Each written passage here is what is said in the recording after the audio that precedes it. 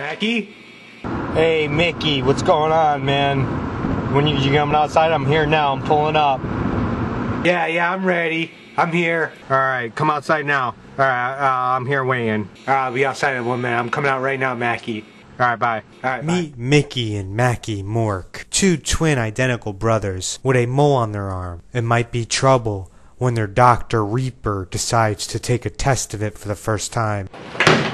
Welcome, Mickey and Mackey Mork. It's time for your examination, Mickey and Mackey Mork. It's time for your examination from the doctor. What's going on with this mole right here, Mickey and Mackey Mork? You have the same exact mole? This could be cancerous.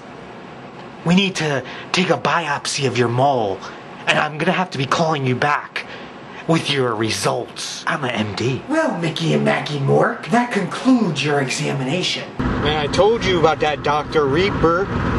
I told you, Mickey. All he's trying to do is find something wrong. If Dr. Reaper says something wrong, I'm gonna believe him. If he he puts me on medication, I'm gonna have to take it, Matt Mackey. I'm not I'm not gonna I'm not gonna suffer and die with cancer if he says we got it. Believe him. Believe in Christ and God. They'll give you your health. They'll make you an old man. Just believe in them. Don't care about uh, Dr. Reaper and what he's got to say.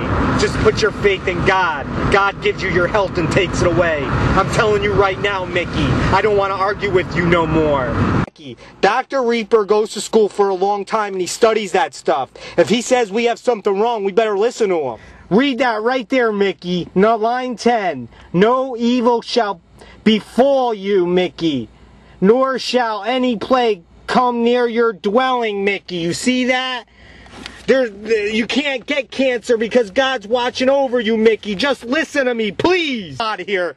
I'm out of here, dude. Mackey Mork? It's Dr. Reaper. Hello?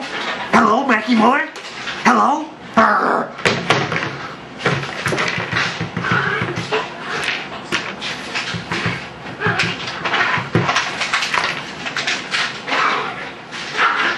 Mr. Mork? Mr. Mickey Mork? Hey, it's your doctor, Dr. Reaper. I got really bad news. That mole that we tested on you and your brother?